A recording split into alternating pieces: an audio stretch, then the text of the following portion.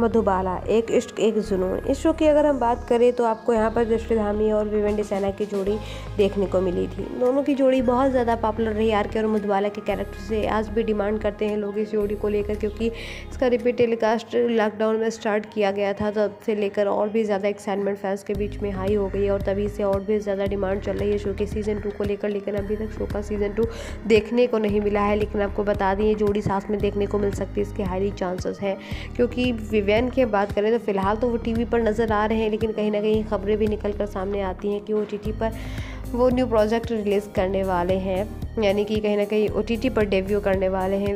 Web series के ज़रिए हो सकता है वो डेब्यू और बात अगर हम करें दृष्टि धामी के बारे में तो वो पहले से ही वेब सीरीज़ कर रही हैं, जहाँ पर उन्हें अच्छा रिस्पांस भी मिल रहा है। तो दोनों साथ में नज़र आ सकते हैं, इसके हाली चांसेस हैं। अभी देखना ये होगा कि मेकर्स मधुबाला शो का सीज़न टू ही इस तरीके से एपिसोड्स के ज़रिए दिखाने वाले हैं। या फिर यहाँ पर ये दोनों की जोड़ी साथ में किसी न्यू वेब सीरीज़ के ज़रिए, किसी न्यू स्टोरी के ज़रिए देखने को मिलने वाली है।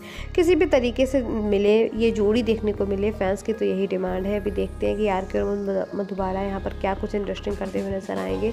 मधुबाला शो का सीज़न टू कब आएगा, कब नहीं, इस बात को लेकर जो फैंस की एक्साइटमेंट है, वो तो अभी भी सस्पेंस क्रिएट है उस बात को लेकर, क्योंकि क्लियर नहीं है कि शो का सीज़न टू आएगा ही।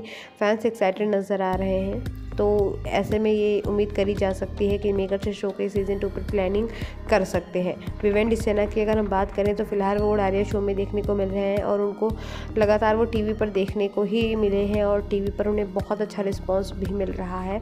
बैक टू बैक वो काम कर रहे हैं टीवी सीरियल्स में as a lead so fans excited हैं उन्हें फिर से न्यू प्रोजेक्ट में देखने के लिए। भी देखते हैं कि क्या कुछ इंटरेस्टिंग होगा उनके न्यू प्रोजेक्ट में? आपका क्या कहना है? ज़रूर कमेंट करके बताना। वीडियो अच्छा लगे हो तो लाइक शेयर करना ना भूलें थैंक यू फॉर वॉचिंग